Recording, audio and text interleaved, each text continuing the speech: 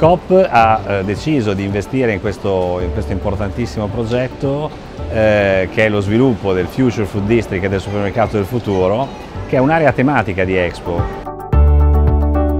L'idea fondamentale che sta alla base di questo concept è che la tecnologia deve essere utilizzata per far ritornare i supermercati ad essere un ruolo in cui la socialità può trovare una sua espressione. In pratica eh, a me piace dire che non siamo nel supermercato del futuro ma che siamo nel mercato del futuro perché grazie alla tecnologia, come potete vedere girando all'interno di questo spazio, grazie alla tecnologia siamo riusciti ad abbassare l'altezza degli scaffali e riaprire eh, alla vista delle persone tutto lo spazio eh, e tutto il volume del, del negozio.